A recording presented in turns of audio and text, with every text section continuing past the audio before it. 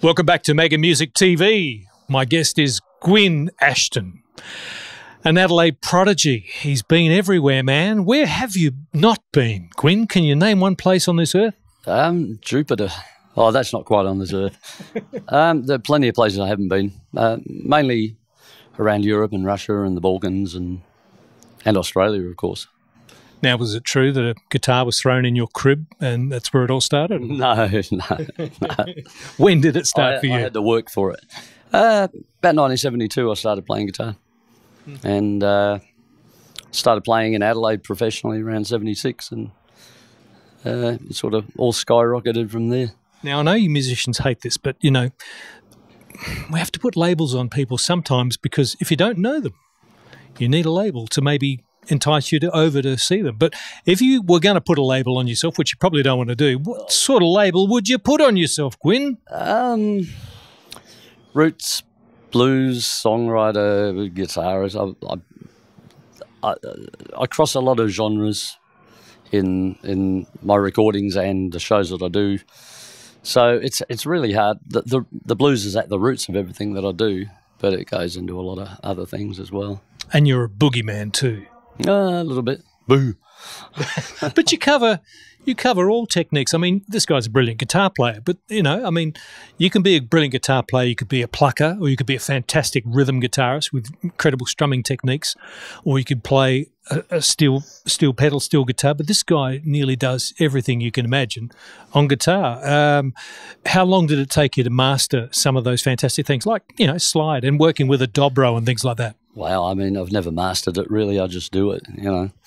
It's you, you just got to keep playing and don't give up. That you, you have to have a, a, little bit of focus and you have to have goals, lots of different goals, and try to achieve each one consecutively. You can't just go for the big time and burn out by not doing it. And I certainly haven't done that yet. But there are a litany of large names associated with you that you've met on your travels, you've either worked with or they've worked back with you or whatever. Do you want to just rattle off a few that guys that you've collaborated with or had dealings with over the years that people may know? Well, I've I've done a lot of shows around Europe. Um, I, I, guess the biggest thing I did was was Status Quo. I toured with them for 15 nights. Um, did all the arenas around Britain. That was 20 years ago. See, I told you, told you, he's a boogeyman. This month, this month, yeah. yeah, yeah. I've done shows with BB King, Ray Charles, uh, Van Morrison, Buddy Guy, Mick Taylor, Peter Green, Robin Trower, many many people. And if you collaborated with yeah, yeah. on on record, yeah. Um, with I guess my first collaboration was 20 years ago again with Gerry McAvoy, Brendan O'Neill, who played with Rory Gallagher, one of my heroes yep. from, from a long yep. time ago. Yep. And uh, Don Airey, who, who plays with Deep Purple now, he was with Rainbow, Whitesnake, and Black Sabbath and, and whatnot. He's, he's on two of my albums. And Chris Glenn, Ted McKenna, Alex Harvey Band, they're on one record. Sonic Blues Preachers is with John Freeman. I recorded that here in Adelaide. Just happened to have it on hand. How much of a coincidence is that? And JF played with uh, yeah.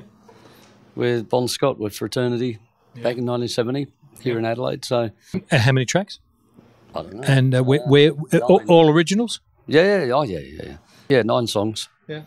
I collaborated with my songwriting partner Gary Allen, who's in Melbourne. He's from Adelaide as yep. well.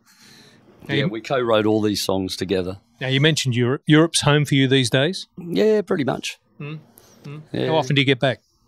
Um, here, mm. I try to get back every year for for a few months to avoid all the snow and crap. you know. I really don't like cold weather. This is the, the Richie Benaud way of living. Yeah. no, hadn't no. seen a winter in thirty years. we're, we're, touching tangible, uh, you know, CDs uh, as we speak. Um, you can get these online as well. Yeah, yeah, yeah, and at all my gigs as well. More importantly, at your gigs, don't go to a store to buy this. Go to a gig.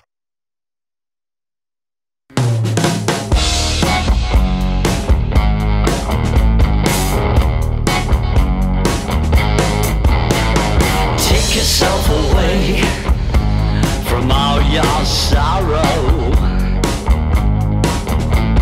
Take yourself away to where you shine.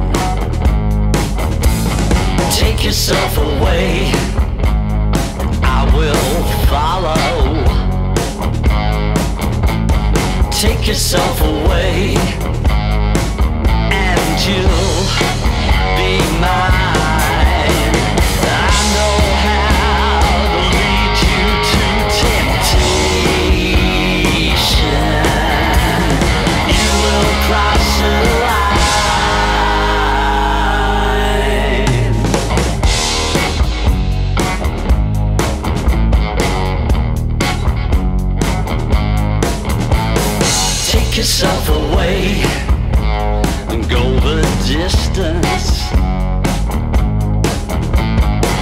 Yourself away so far and wide. Take yourself away, there's no resistance. Take yourself away, enjoy the ride.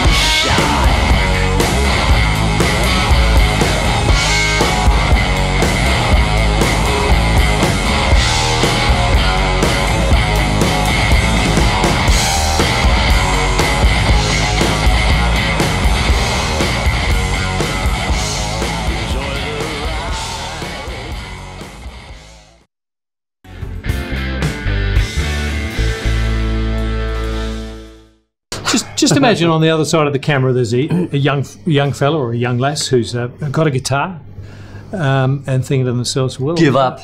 no, no, no, no. Don't take it to heart. What's your first tip for someone who's maybe picking up a guitar for the first time? What's what's the process, and what and what's what's your what are your words of encouragement for them? I'd say keep an open mind, listen to everything, and if you're playing with other people, listen to exactly what everybody else is playing um, on stage. Don't don't try to push any any any harder than everybody else is pushing. Basically, play as a team if you're playing with other people. And always, always listen. Always listen to what's going on. Because the less you play, the better everybody sounds. Correct. Less is more sometimes. Yeah. Now you were uh, hanging about with uh, a well-known Adelaide identity, uh, Mr. John Vincent, back in the day, ba- back before his passing, and uh, you actually uh, performed with John in London, I do believe. Yeah, but I can't, I can't remember it. uh, I remember him coming over. I remember doing something, Well, it was a pub. But it was 14 years ago or something. It was a pub. 15, 16 years ago. You are forgiven. yeah, yeah. I remember he was crazy and he, he was a great guy. Yeah. Fantastic man. Part of history, wasn't he? Absolutely. And so were you. Gwyn Ashton, Maybe. guitarist extraordinaire. You're going to perform for us. I am. Do you want to nick over there and get yourself ready? Yeah, I have to, I have to Thank find a much. guitar first. All right. Move on over. It's Gwyn Ashton is going to uh, disappear and uh, get over to his guitar and play us a tune pretty soon.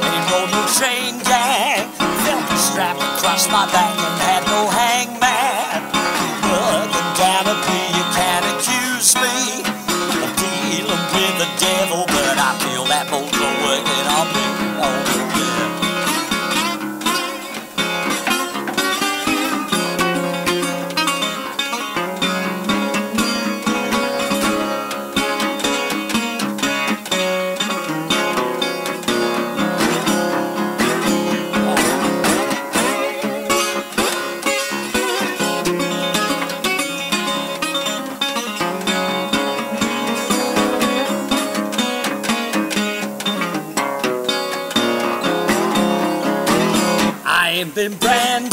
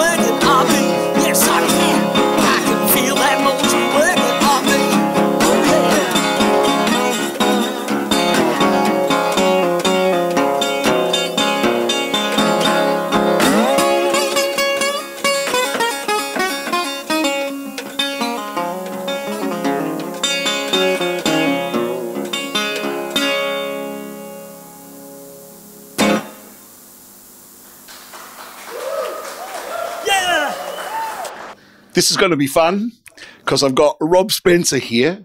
And seriously, it pains me to even call him by his name because I've known this man for 35 years. And to me, you, you will always be Pigsy. Get, how are you, Pigsy? I'm well, Chens. That's right. See? That's what we're going. We, we, look, let's stick with, let's be comfortable. yes.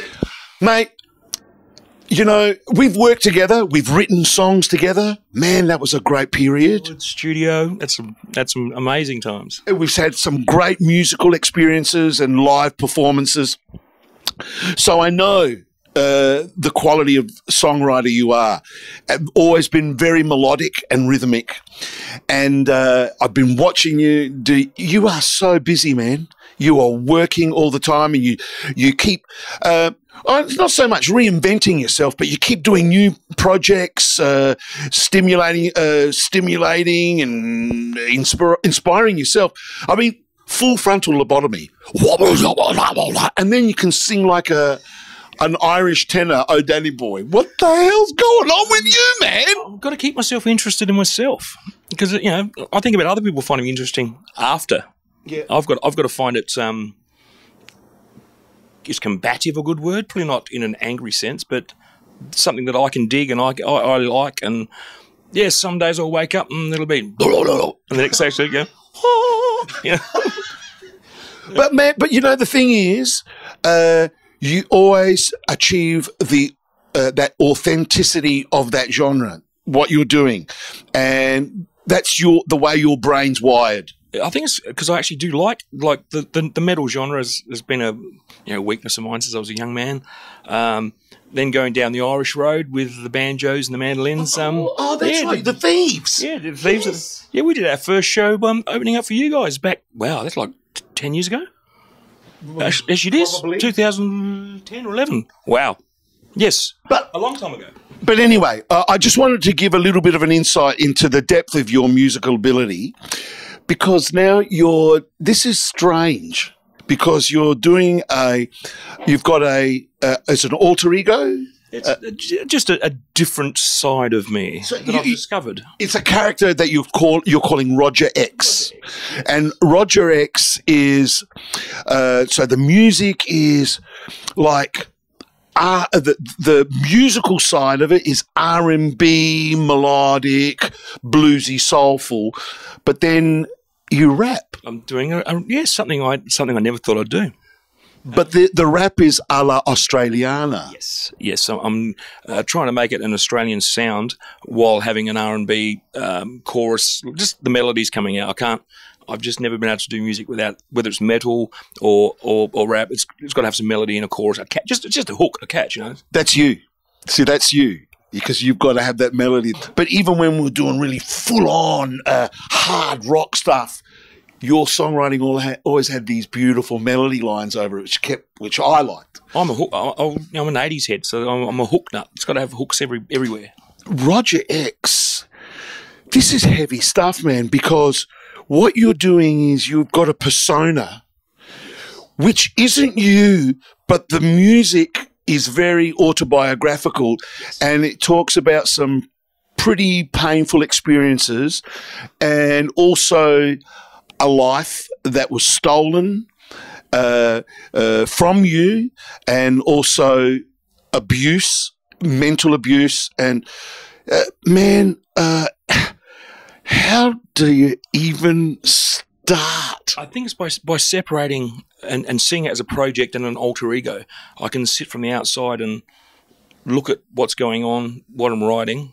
Um, like I said, it's, it's autobiographical on my life and things have happened around me, but I can still remove myself enough to go, okay, what's going on in this song? Oh, you know, and of course I do edit some stuff out. You know, It- it's, li- li- you know, show, showing the soul too much can, you know, it's it's good to get it off my chest. Like it's been a long time to, to get these these actions and things that I've grown up around and um, out. But there's still some stuff you sort of hold back and go, yeah, the world doesn't need to know that. I don't, want to sound too much like an, an idle back rap, you know. the thing is that the listener and people listening to that, it could be pretty healing for them. I think it's it's it's a common thing of um, you know broken homes and teenage mothers and uh, you know, brought up by grandparents and some of the things that I went through. Look, my grandparents were the most loving people in the world, but just being told about you know family members why they're not around and little little lies that I guess people think they're protecting children, They're not but lies. no, exactly. And as an adult, you start going, oh, so he's not dead. Oh, so there are brothers and sisters. Ah, oh, so there's an extended family that you know. So I thought, well, gonna, I need to put into a song. Um, th- and this is the beautiful thing about music. It's something very serious, and we can't trivialize it. But uh, the journey uh, and that you've gone through, and you've put it into music. For somebody else, it can be a completely different topic, a subject, circumstance, but they will relate to that emotion, and in some way, it makes them feel not alone. And here you are, smiling, proud, uh, and uh, inspired, and you're going to go out and do it. And, and this is a good message to put out there. And, you know, we, at the end of the day, all we're doing is playing music, but this is a good thing. Well, I think if it can help anyone that hears it heal in any way um, through a circumstance in their life, or to realise that you know th- there's a lot of us suffering silently, um, and it was just that time to to bring that out. And after um, you know, 2018 and 19 were some big years going out with a few big artists like you know Merkules and Obi Trice and Crazy Town, and sort of meeting guys that have all got um, you know deep stories. Yeah, it's, it's a very similar. Mate, all power to you. Uh, I wish we could talk longer. I wanted to talk about the production, uh, you know, It's not so heavy because uh, obviously you're doing a bit of recording at home. Are you, uh, uh, is are you doing external uh, stuff out of home as well uh, to to put this production, this album together? The- It's it's all been done in my studio, but um, I've been getting players into playing it. Production's amazing. It's it's coming together. It's it's a few years of practice. It's because he, it's the ear, ladies and gentlemen. And there's only It- it's well, let's fix that. No, uh, this man's brilliant. Um, uh, well done, mate. I, I wish you all the very best with this album, not only for you, but for other people as well, uh, to share that journey, uh, alleviate some of that burden of the pain that they've got. Uh, and this is therapeutic for you too, mate. All power to you. You're a bloody champion. Thanks, Jim. Big Z!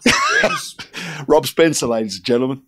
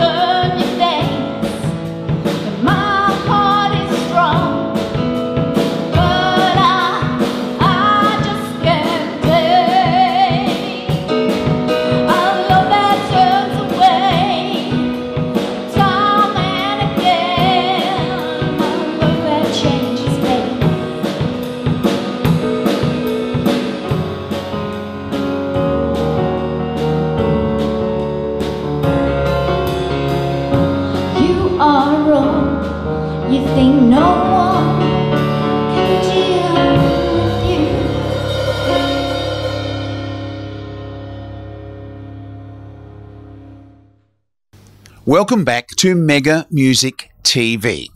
Now, this particular little segment is a little bit of a treat for me. I absolutely adore this little music ensemble that I have gathered with me here.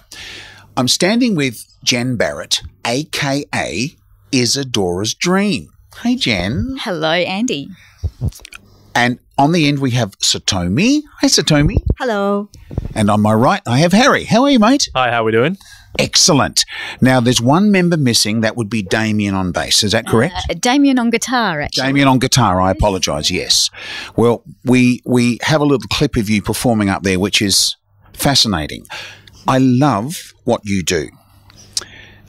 I've done a little bit of research on you. I, I actually went to a little bit of trouble to to look up what it is you're about, Ah. and I'm fascinated with the the colours and the, the textures of what you do. I hope this is a compliment. You remind me very much of a cross between Kate Bush and Queen because there's this theatrical sort of drama about your music.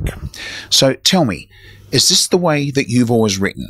Look, certainly I love Kate Bush um, Yes. and I like Queen as well. Okay, good. um, but I never set out to write like Kate Sure, at all. sure. And I think I get compared to Kate a lot, particularly vocally, uh, because I have a, a sort of natural vibrato that goes on. And Yes. yeah, I do get compared to her a lot, Yes. but and I love her music. And I think probably she's infiltrated my writing style. No shame in that. Not at all. I, I, I love her, and I love her theatrics as well. So Right.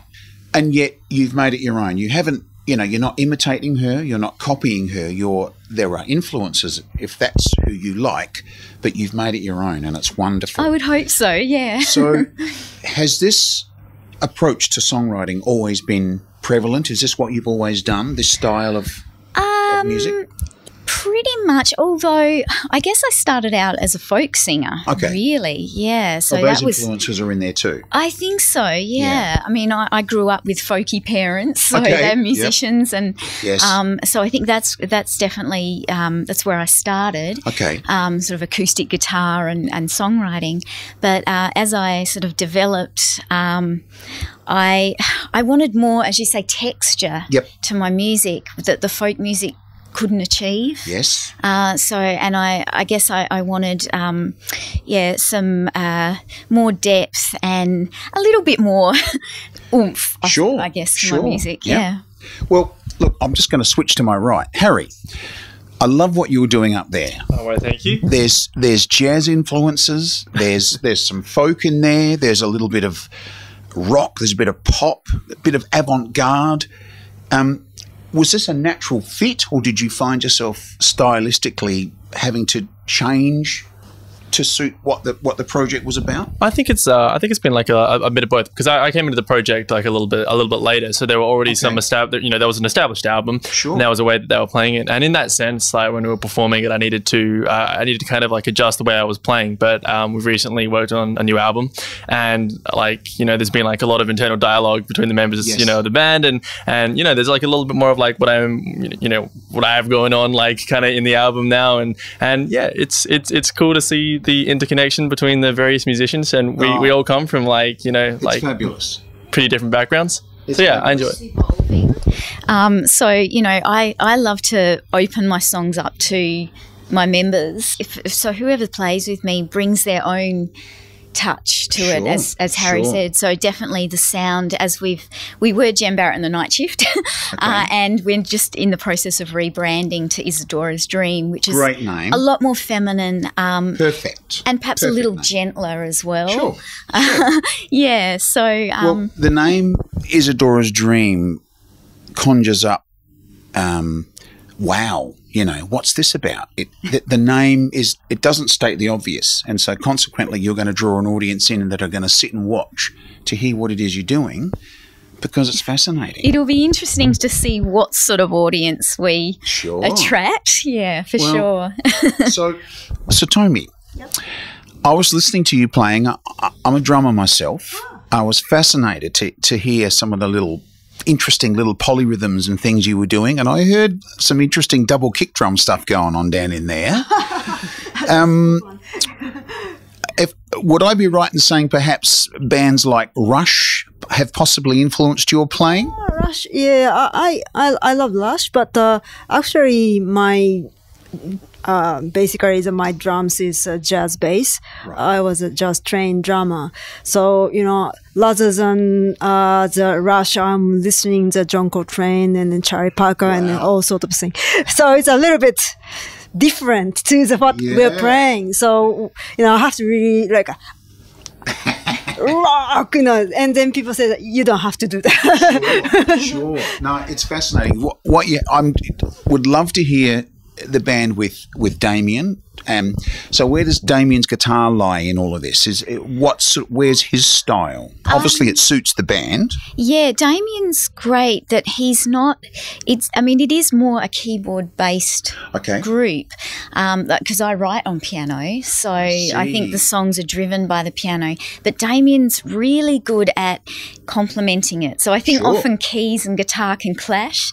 Um, But yeah, Damien's sort of. He's very unassuming. Yes. He's not one of these ego. You know out there Yes. has to yeah. So uh, he brings a lot of um, like dynamics, um, texture as well.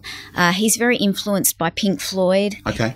Uh, I think he was in a Pink Floyd cover band at some Sure, stage, sure. and so I think No that's that not either. at all no, and it's it's really suited my my music. So Fantastic. Now, are you the principal songwriter? Uh, is it Yes. just uh, do others? Do these guys lend colours and, and They- facets? I write the songs, Yes. so basically it's all my original work, and then I basically give it to the band, and then we all get together and jam it, and then I'm really open to how a song might sound. I don't sort of go, right, I've got this song and it needs to be this, and you've got to play this. And Yes. I really like that influence of, of other musicians. And, you know, each each sort of incarnation of, of band, it just evolves and, Yep. and changes and brings different sounds. Well, it's absolutely fabulous. Isadora's dream. I wish you the utmost because you've got something very unique and very special. Um, can't wait to see where it leads you and some of the festivals. Uh, you, you, to me, you're a festival. You're an event type act, and I can't wait to see what comes of it. So, thank you very much for your time.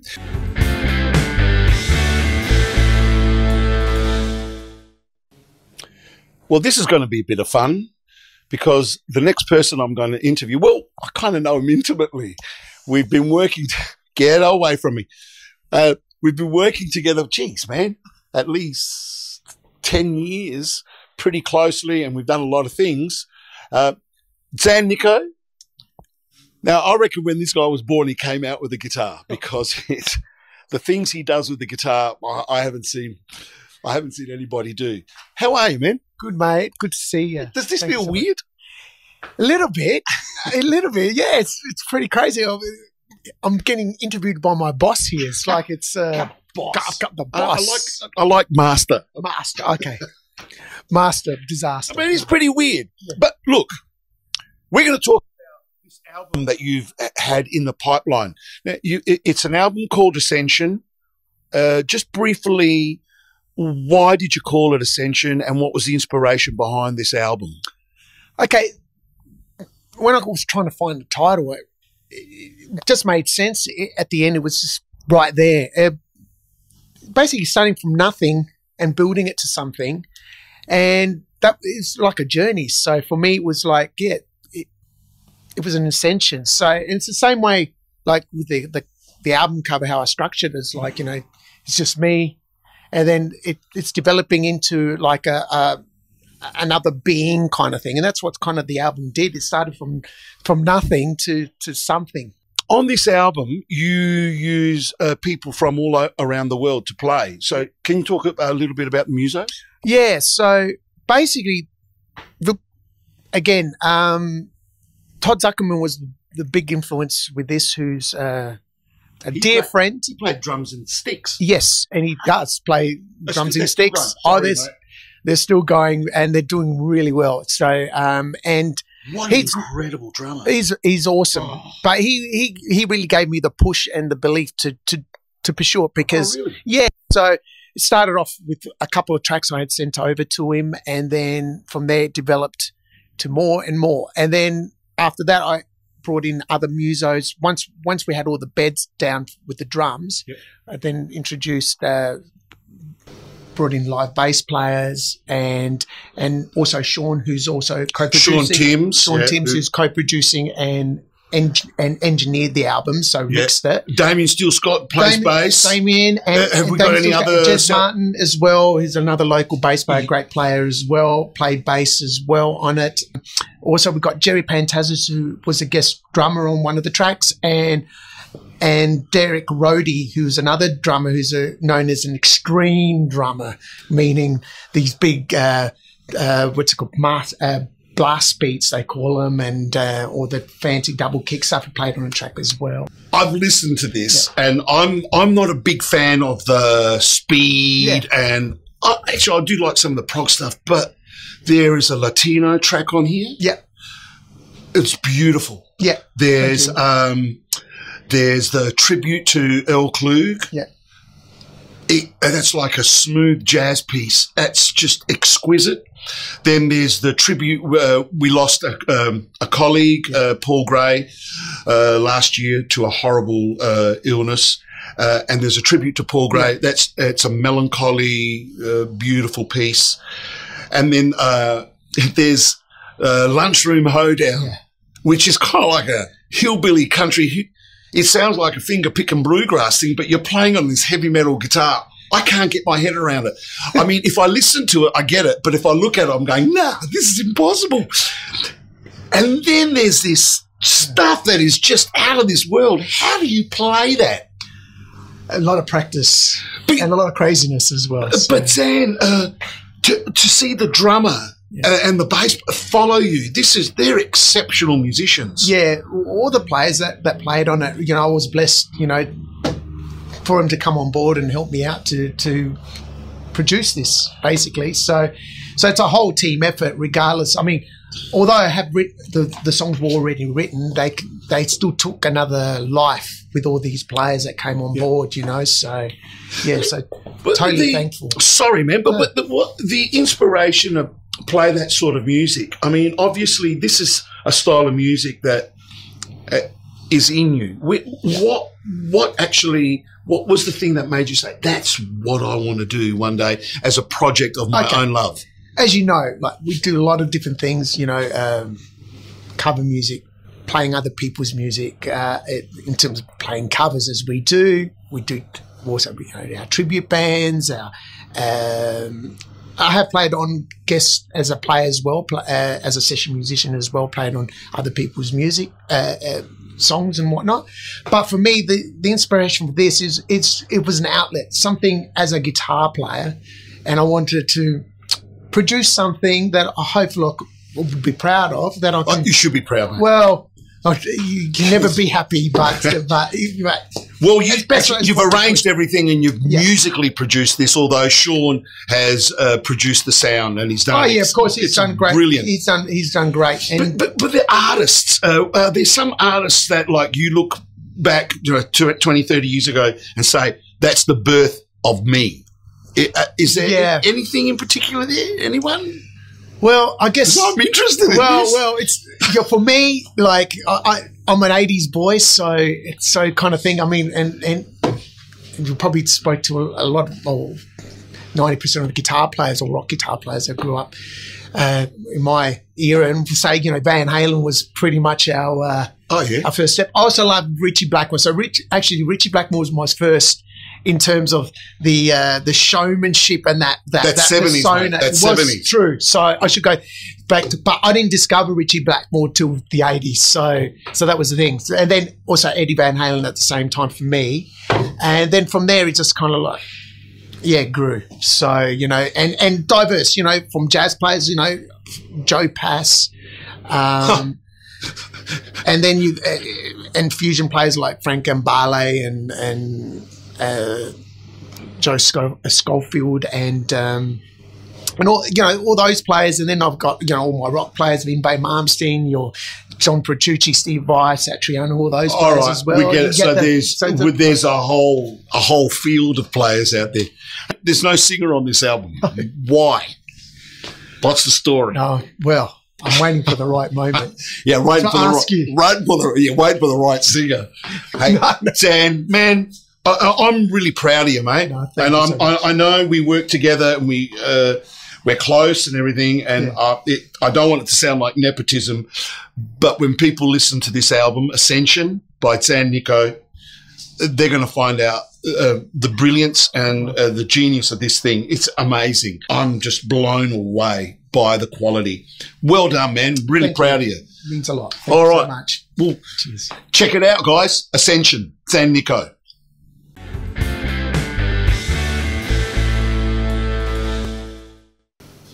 Well, welcome back, and we're here with the beautiful Cheryl Lee. She's beautiful. She's beautiful. But so are you. Oh, well, stop it. No, not so much, really. No, a lot. Nah. Yeah.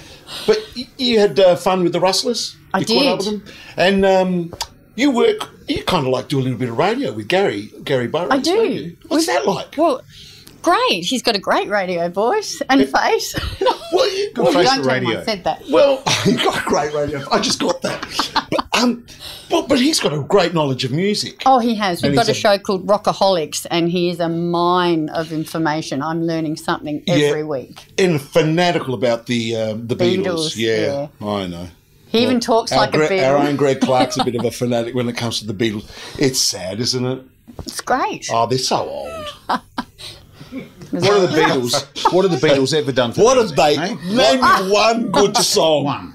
Anyway, You're going to get struck down by lightning by I love the Beatles. So you had fun with the Rustlers? I did. I hijacked their rehearsal. Oh yeah. They got a lot of albums out too. Yeah. Six or eight albums, Yep. maybe. Gary writes all the time. So, we, well, obviously, we're going to see all. Oh about yeah, it. you'll hear all about it. Well, why don't we go to the to the, um, the interview, the clip, and find out all about it? Play it. Okay. The Rustlers are rehearsing.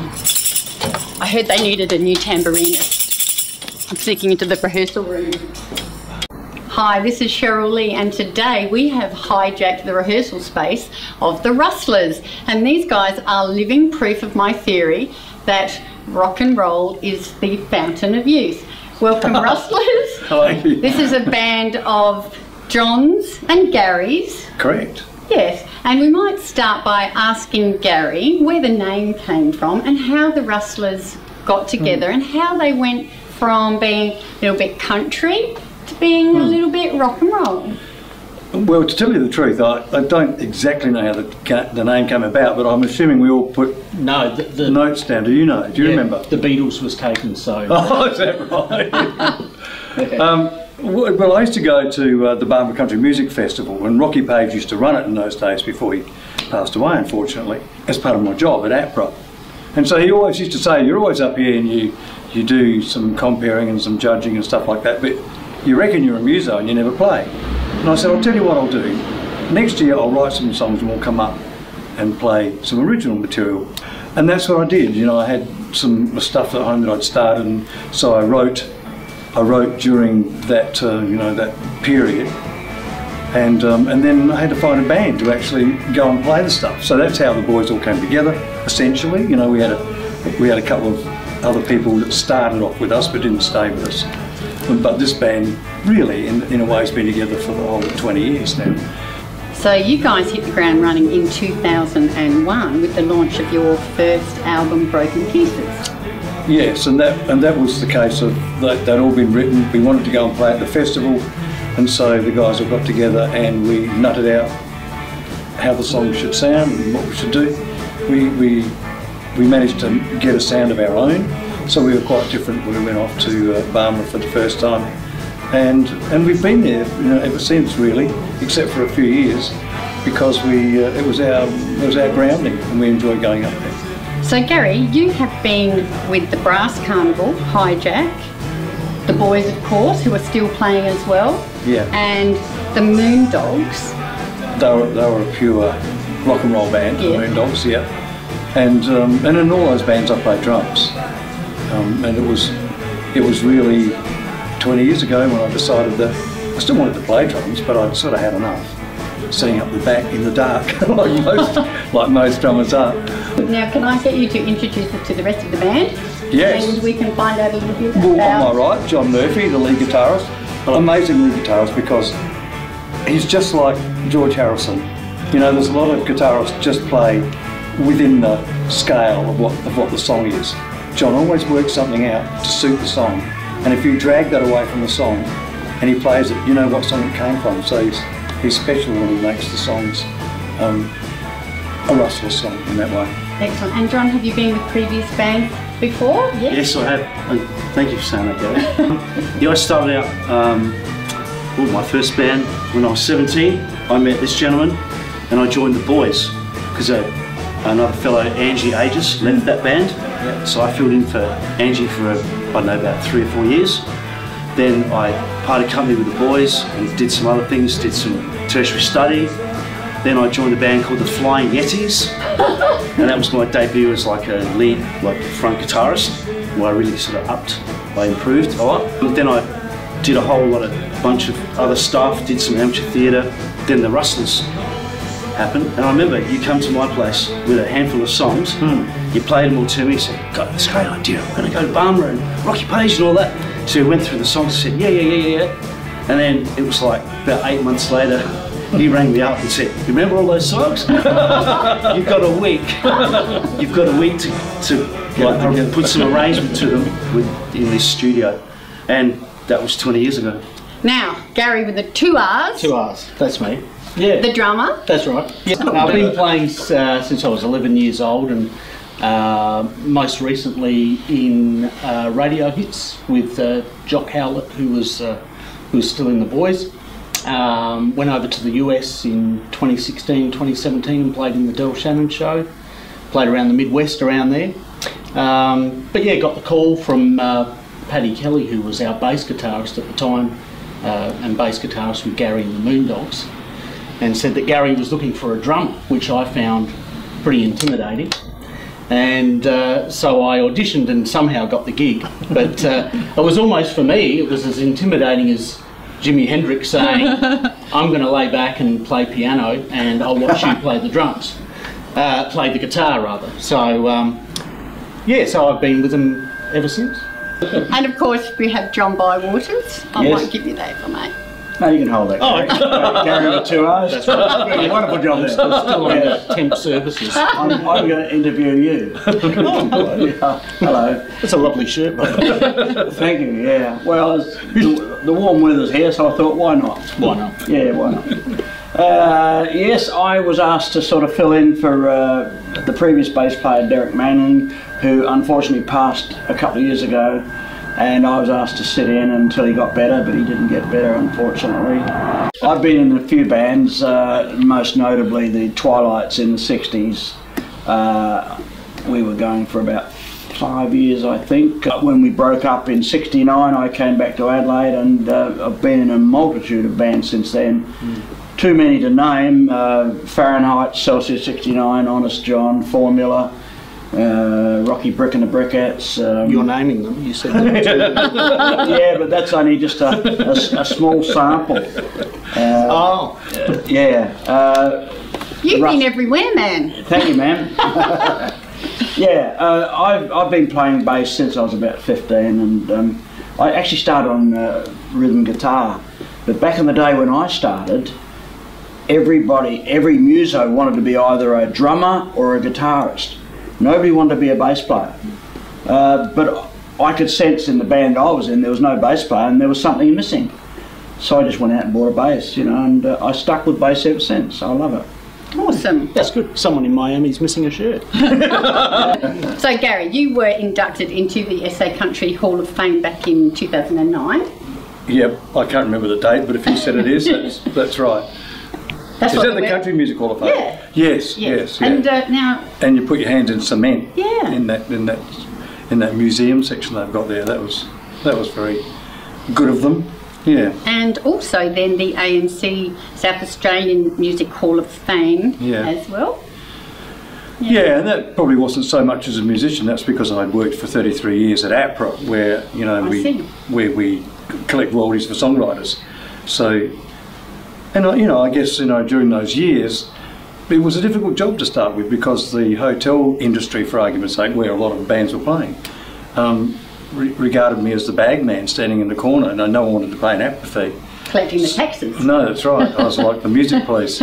So Right, it was quite lonely at a lot of those meetings for a while, but eventually eventually we formed a great relationship with the AHA, and, and to the fact that eventually we didn't talk about business too much. You know, we just kind of networked and worked together in things that happened and mattered.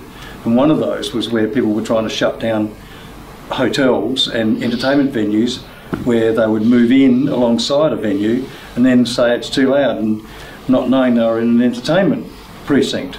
So we, we brought one of John's mates over, um, Glenn Shorrock, who spoke for the bands and we had a we had a rally that went from Victoria Square down to the Government House and in, in the end, um, with the help of um, a, a lovely lady, Di Laidlaw, who's the Minister for the Arts at the time and was always following music, loved music, um, we changed the legislation to say that it's prior use. So if a hotel now has music and someone tries to move in and stop them, it's difficult to do that because of this prior Yeah, use. power of the people. Yeah, well done, you lot. And we also have another um, Hall of Famer. In fact, John, were you the very, very first inductee? I, I certainly was, Cheryl. I was absolute number one, along with Peter Tilbrook from the Master's Apprentice. But it's a great honour. Yes. Well, congratulations. Well done. Thank you. Now, you guys have got four albums. The first one, as I mentioned, was Broken Pieces in 2001. Correct. In 2006, it was Sad Dark Lies. Yeah. Then 2008. Can't read it. Oh, that was leaving me. Yeah. There you go. I don't know whether it's my eyesight or my bad right. It wasn't and called what was Read your It. 2013 one called? Born to love, to love you. Very good. Yeah. Now, these are entirely original songs, so can we hear a little bit about who is writing the songs and where the inspiration for those songs is coming from? Gary's the mm-hmm. main songwriter in the band, and I add one or two songs per album, but he's the main songwriter. The inspiration comes from from my life, really. I really write stories about what's happened in my life, some things that I think about, some things that I've known, some things I see, um, and that's what it's about. Broken pieces. Um, you know, we had a bit of bad luck during that period where my daughter was killed when a tree fell on her car up at Hahndorf. And I was in Hahndorf and I was driving around, and that song came to me. And it wasn't necessarily about my daughter Emily. It was really about love and, um, you know, wearing your heart on your sleeve, etc. And I hadn't, I didn't have a way to, to record it while I was driving, so I thought I rang the studio where we were doing our album and asked them to turn the turn the mic on, and I just sang it over the phone. And when we got to the studio, there it was, ready for us to play. Awesome. So it's those sorts of things, and I I see the songs that I write. I see the movie in front of me. I watch the movie going in front of my eyes, and I just write what I'm seeing, and, and then I make it then I make it rhyme. So it all comes to it comes at once. Surprisingly, like the tune and the melody mostly. Yeah. I just also wanted to thank you guys for all the work that you do for Support Act as well. Supporting uh, the musicians, the roadies, the lighting technicians, the camera people, the sound guys, Yeah. um, who you know might be getting uh, coming across hard times. And I Mm. know you guys are great supporters of Support Act, and it's a great cause as well. Absolutely. Alrighty, thank you very much, gentlemen. Thank you, Cheryl.